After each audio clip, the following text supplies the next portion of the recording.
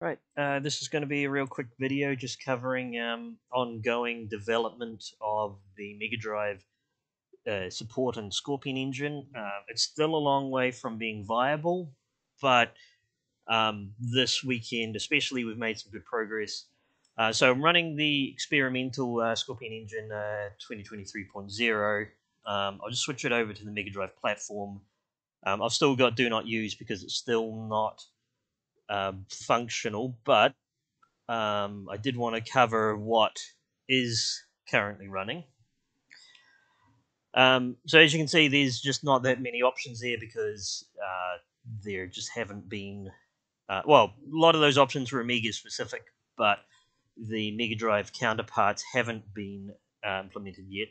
Uh, this open with emulator button is new, so um, with the Amiga outputs are very specifically supported WinUAE and FSUAE.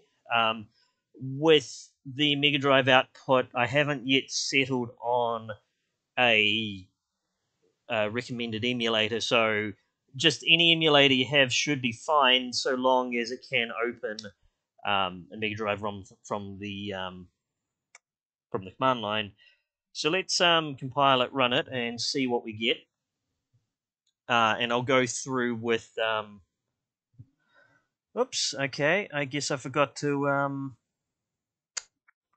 I forgot to hook up the emulator. I'll do that right now.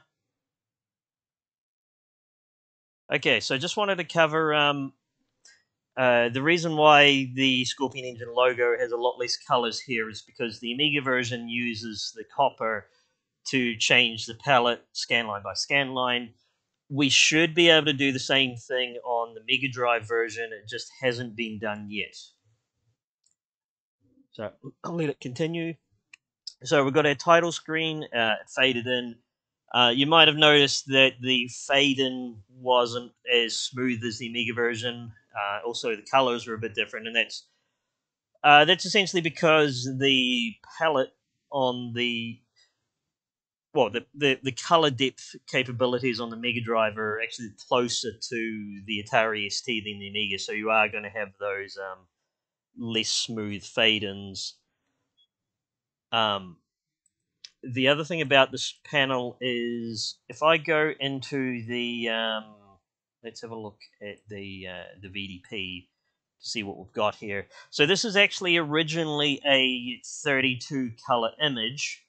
Um, with the current version of Scorpion, what it's done here is it's taken that 32 colors and then it's split it into um, three different 16 color palettes. Um, because each each tile can only be uh, one of these four 16 color palettes. You ca- you can't have like a 32 color tile. So um, so because of that, it does the best it can to try and take pretty much any image and then squeeze it into um, these the four 16 color palettes if it can. Okay, so going on from there, we've got, um, we can actually sort of progress from here. Um, we can push the B button on the Mega Drive pad, and then that will fade out. Um, we get the red screen of death here because levels aren't implemented yet, so implementing um, you know loading tile maps and then being able to scroll scroll them um, I guess is going to be the next step. Um, so yeah uh, there's uh, it's still a long way from um, being viable um, for Mega Drive development but it's uh, certainly getting closer um, you probably couldn't make a game with it as it is unless you were to do some sort of like uh, pick a path type adventure game.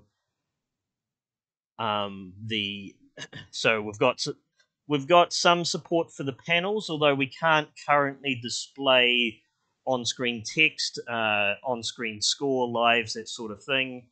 Um, the code blocks logic system is fully compiling for Mega Drive, though there's a lot of things like uh, level loading where it just won't do anything yet.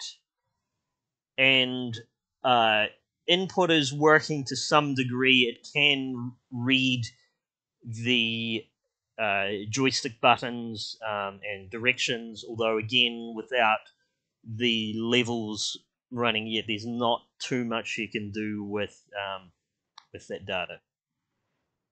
And uh, yeah, um, so I'm fairly happy with um, how progress is going. Um, uh, maybe in the next few months, we'll actually be able to have um, Scorpion levels uh, running on the Mega Drive output. Um, if for some reason you really wanted to um, tinker with this, again, it's all on the experimental Scorpion